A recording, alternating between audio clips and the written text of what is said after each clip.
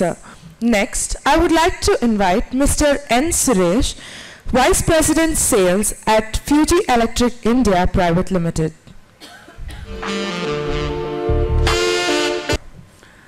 very happy UPS cum solar day.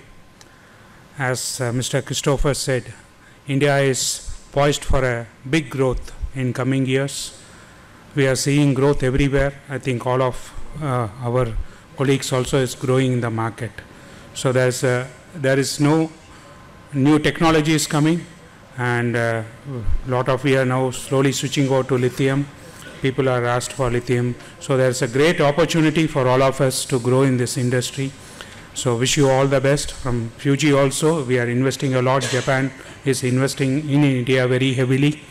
And uh, soon we'll be having our third plant in India. So as uh, said, India is going for a very big growth and let's be a part of it. Thank you all.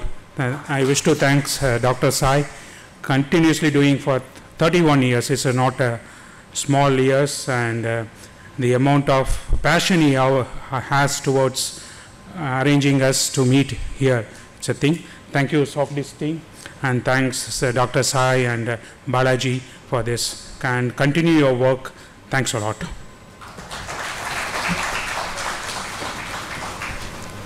Thank you so much, sir.